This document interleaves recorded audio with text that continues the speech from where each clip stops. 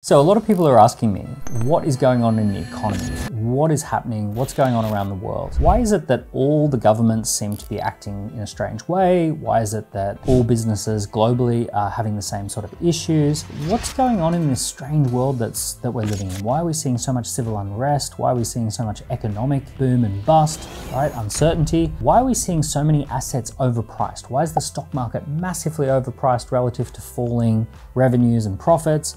Why is the housing market massively overpriced relative to the fact that hardly anyone can afford a new house? So all of this stuff's going on in the economy and people are asking me, like big picture, what's going on?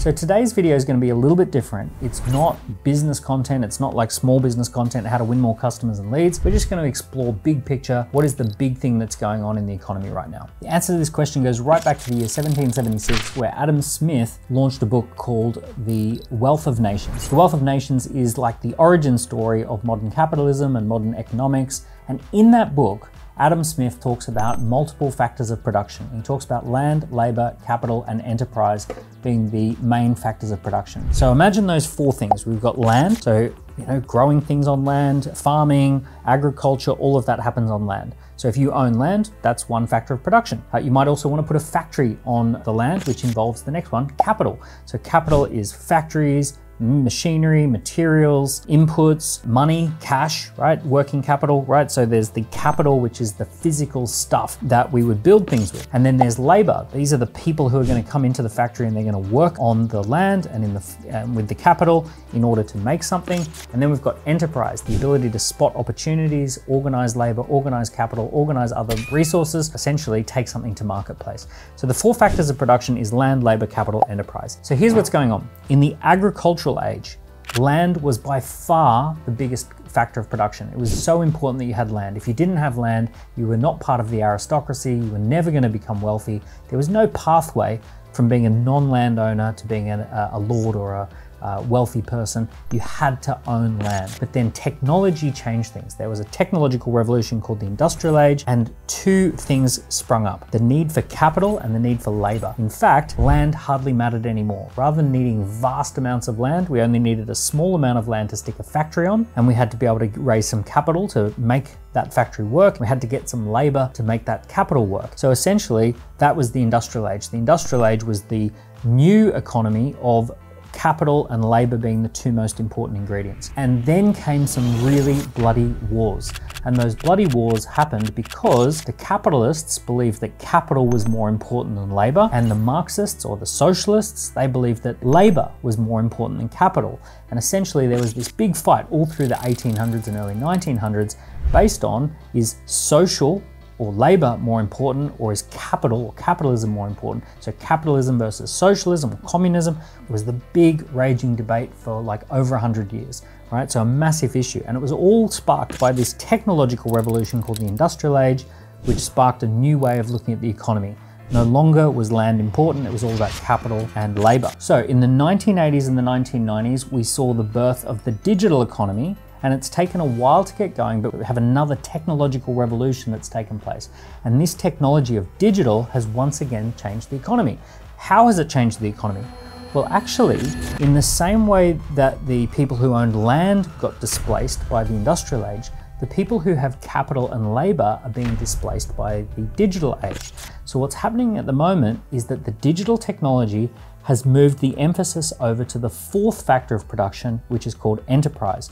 So think about it like this. Today, we're seeing small teams of 10, 20, 30 people who have a small amount of capital, maybe less than a million dollars, and they're building global businesses with thousands of customers, with millions and millions of revenue, with customers all over the world, and they're doing it using social media, software, data, intellectual property, all of it is using tools that are free or almost for free. They don't need a lot of labor and they don't need a lot of capital to build a massive multinational corporation. So if you want a specific example as to what this would look like, have a look at some of my businesses. So ScoreApp is such an example of this new economy entrepreneur driven business. We don't have offices. We have about 30 people who work all over the world. We have over 6,000 customers in over 150 different countries. We use lots of software, we use lots of media, we use lots of data. We've plugged that software into artificial intelligence. It's AI driven. We have a subscription model. We bill in multiple different currencies. We have our customer success team in one part of the world and our developers in another part of the world. We have online meetings to create alignment. So essentially, we are a business that is completely in the digital environment, what you might call the cloud.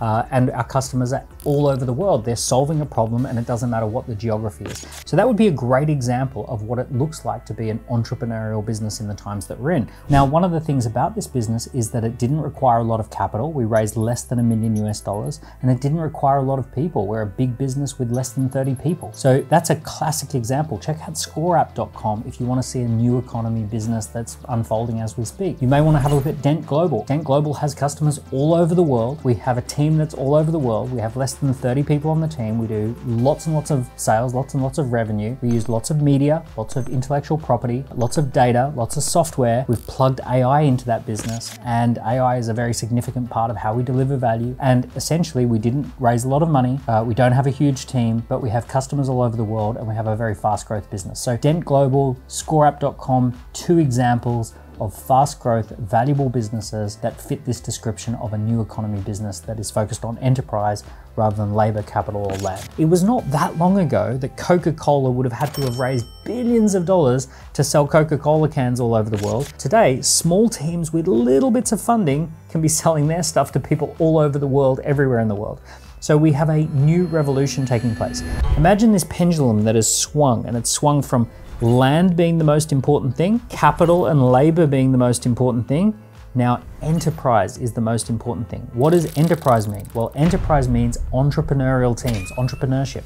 So it's the ability to spot opportunities, it's the ability to set up companies. It's the ability to launch new products, the ability to get people excited about ideas, to spread those ideas. If you can do that, you can live and work from anywhere, you can make lots of money, you can have fun, freedom, and flexibility, you can build something that's very, very valuable, right? You're living in a completely different universe if you know how to do enterprise, if you know how to do entrepreneurship because the world has swung and the world has changed. Why is this creating such a disruption? Well, of course, these two systems, labor and capital, fought wars to establish their positions.